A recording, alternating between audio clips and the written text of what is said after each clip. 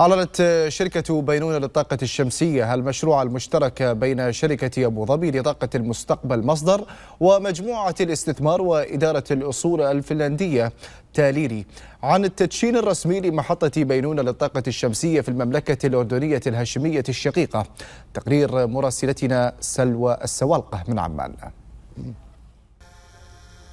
شركة أبو ظبي لطاقة المستقبل مصدر. تدشن محطة بينونة للطاقة الشمسية في منطقة الموقر شرق العاصمة عمان. وتعد هذه المحطة الأكبر من نوعها في الأردن بقدرة إنتاجية تصل إلى 200 ميجاوات. ويلبي هذا المشروع الضخم الذي يعتبر نتاج دعم إماراتي وشراكة مع الأردن احتياجات الطاقة السنوية لقرابة 160 ألف منزل.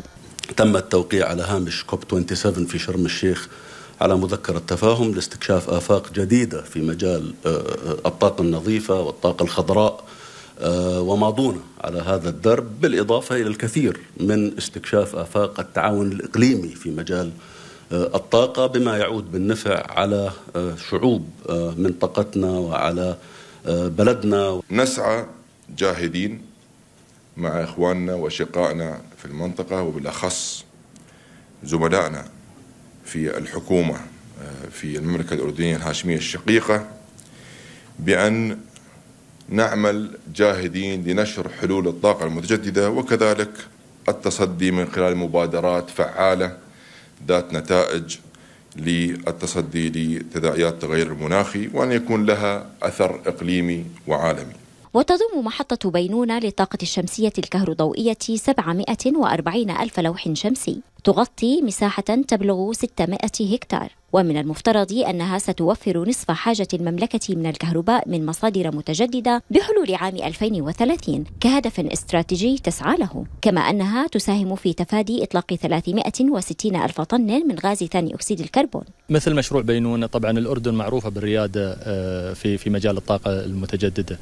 ولذلك آه، وجود الابتكارات العلمية والتكنولوجية اللي موجودة واستخدامها ومثل آه، ما يقولون بلورتها في مشاريع مثل هذه على أرض الواقع يساعد على آه، الحصول على طاقة نظيفة اولا، ثانيا الله سبحانه وتعالى حب المملكة الأردنية الهاشمية بموارد طبيعية ممكن أن تستغل ولذلك وجود مثل هذه المشاريع وهذه التكنولوجيا يساعد المملكة بالوصول إلى أهدافها والحد من التحديات المناخية. ويعد هذا المشروع الثاني لمصدر الإماراتية في الأردن حيث سبقه مشروع محطة الطفيلة لطاقة الرياح أول مشروع تجاري لطاقة الرياح على مستوى المرافق في الشرق الأوسط والذي أسهم بنسبة 3% من القدرة الإجمالية للطاقة في الأردن أي ما يعادل 117 ميجاوات. وتساهم هذه المشاريع ذات البعد الاستراتيجي في التخفيف من مشكلة تأمين مصادر الطاقة إضافة إلى توفير مصادر متنوعة ونظيفة منها